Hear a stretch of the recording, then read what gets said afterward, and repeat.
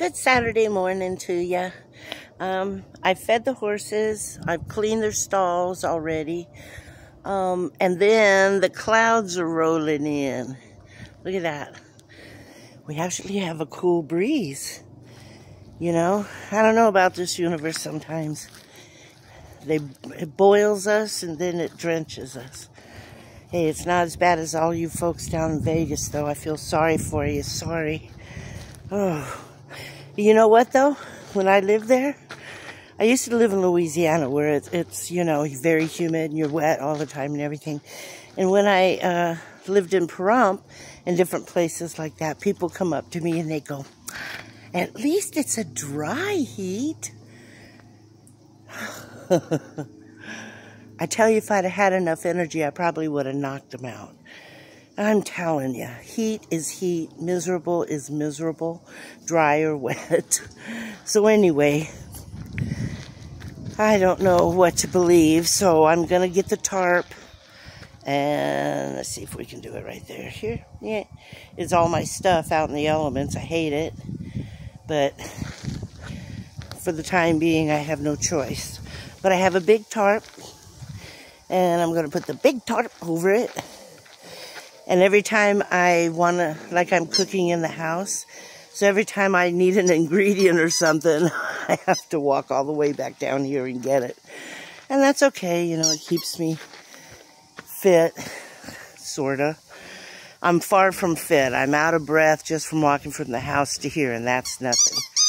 And as you can hear, Betty has her toy, and she thinks it's her time now, too. This is her favorite toy. Thank you, Izzy. Thank you for all the others that have replaced this as many zillions of times as it's been replaced. Because it is her favorite, obviously. Oh. Anyway, I hope y'all are doing okay out there. It's, you know, I hear a lot of things and I read a lot of posts and a lot of you are pretty weary. And I understand that fully. I've had a reprieve for a little while and I'm so grateful. Because, you know, trying to live with Crohn's disease, even a regular sticks and bricks house is rough. Um, trying to keep clean, fresh, what's that? Um, on the road while you're facing the elements and having to do all the daily chores you must do as a nomad, whether you have to move every day, twice a day, or, you know, once every 15 days and stuff. Anyway, I hear the new stickers are out, so, and they're only 180. They didn't go up to the 300, I suppose, that they said that they were. Either way, I won't be buying one. Um, I don't know what the future holds right now, but going back on the road just doesn't sound fun to me. I mean, maybe you know, kind of local stuff or something, sure, but I don't know, you know, I don't know. We'll have to see how things go. I'm really enjoying the way things are happening now, and I've made a lot of new friends, have a lot of fun toys. And so we're supposed to go for a, a trike. They called it a trike ride into, where did they say? Oh, geez, up Highway 1, Ragged Point. I'm up for that. And um, anyway, they have a lot of adventures they go on. They're an adventure couple. And uh, and we're going to go fishing and all kinds of other fun stuff. Anyway, I got to get going. It's starting to look ugly. So I better get everything tarped up because what little I have, I don't want to lose. That's for sure. And we all know about that, don't we? Okay, stay safe out there. Make sure you have plenty of water. Reach out if you need help. Uh, I'm talking mentally or, you know, you break down or whatever. There's somebody usually around where you are or usually will, will lend an ear as well.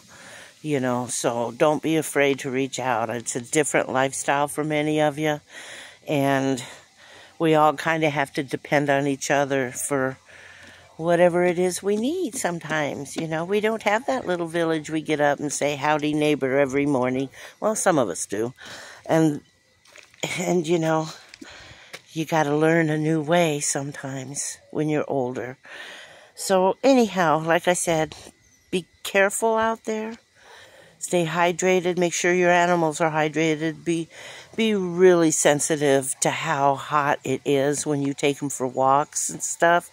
And put your hand to the ground because that's where they'll be walking. If your hand is too hot, their feet are too hot. That has always been a rule for me. I don't know. And then I'd put my hand down there. That told me quickly what what was going on. So try that. That that never failed me.